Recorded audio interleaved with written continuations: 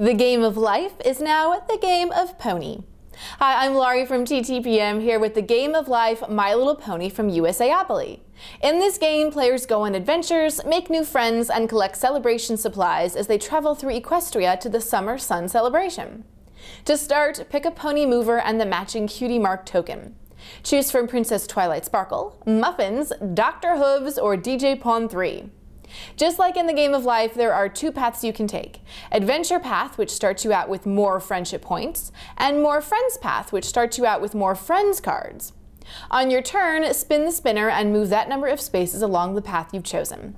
The space you land on determines what you get to do next.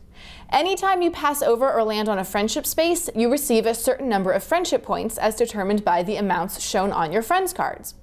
If you land on a story space, pick up a story card and spin the spinner. If you land on pink, you earn the amount of friendship points shown on the card. If you land on blue, you'll lose friendship points. If you have a friends card that matches the cutie mark shown on the story card, you automatically get the friendship points. Isn't it nice to have friends?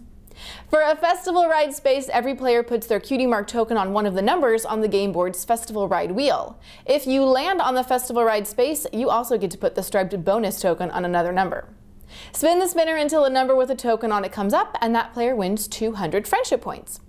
If you land on a celebration supply space, you can use your friendship points to buy supplies for the Summer Sun celebration. At the end of the game, you'll get back some of your friendship points.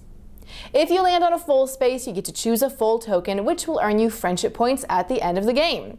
And anytime you get to a stop space, you must stop, even if you have moves left, and do what the space says.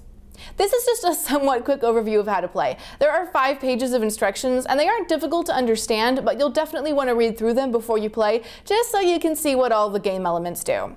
You can always quickly refer to the instructions while you play. This is a great game for My Little Pony fans of all ages, from the young kids to the adult collector. This is an entirely new way to play the game of life, and lets players pretend to be their favorite pony traveling through Equestria.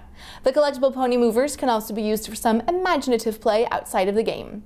The game is for 2 to 4 players ages 8 and up, and for more information and current pricing, visit TTPM and subscribe to our YouTube channel for more great toy reviews every day.